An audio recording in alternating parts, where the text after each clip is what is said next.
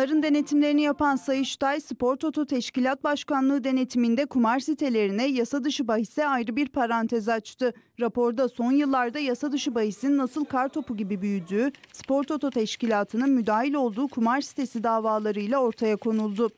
Bu konuda 2019 yılında 119 dava açılmışken 2022'de 954 dava açıldığı, 2023 yılında bu sayının 1937'ye yükseldiği belirlendi.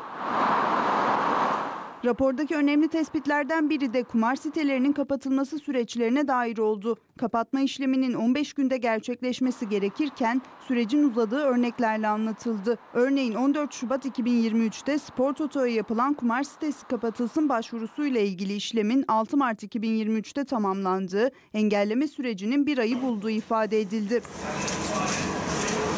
Sayıştay raporunda yasa dışı bahis oynatan internet siteleriyle daha etkin bir şekilde mücadele edebilmek için bu sitelere erişimin engellenmesi konusundaki sürecin olabildiğince kısalması gerekir dedi.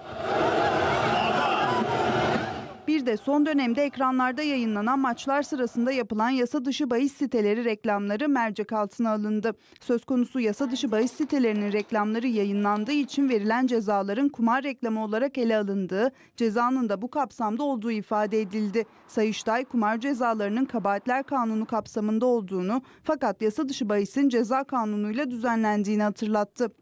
Yasa dışı bahisin kumar oynama ve oynatma suçlarına göre yaptırımları daha ağırdır. Dolayısıyla kumar ve yasa dışı bahis suçları ayrı değerlendirilmeli dedi.